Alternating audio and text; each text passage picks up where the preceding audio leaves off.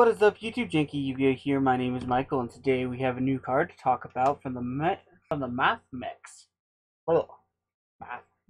That's a, a tongue twister for dear old Mikhael here.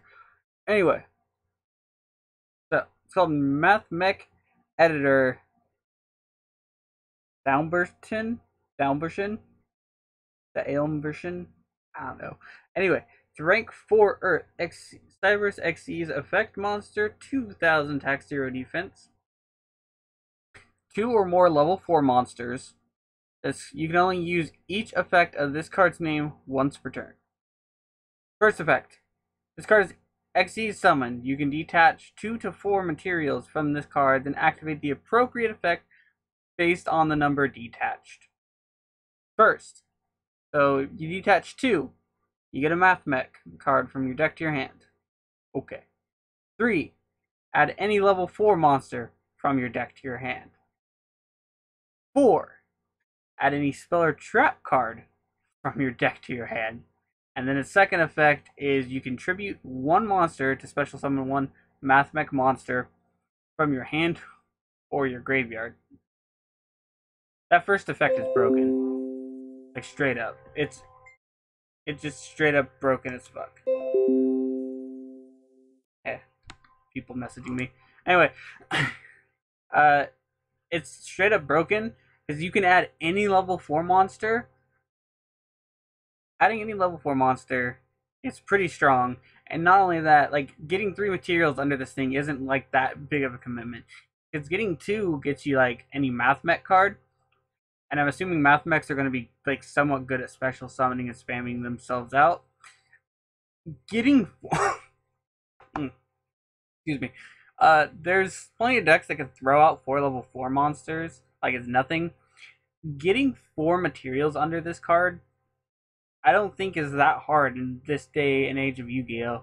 Like I know plenty. I've I've made several decks that can do that, especially with the Clown Blade engine out and Hat Tricker not being a once per turn for special summoning.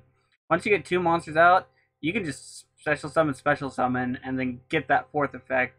Get like maybe Brilliant Fusion or any really spell or trap card that's crucial to your game plan, and just go off from there. This card's gonna lead to like OTKs and FTKs is my prediction because of that last ability.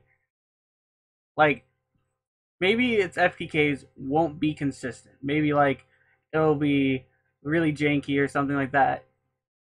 But mark my words, that adding any spell or trap card from your deck to your hand is gonna be like someone's gonna make a deck to FTK with it. I'm calling it now. Because that's actually just broken. Uh the second effect is pretty good.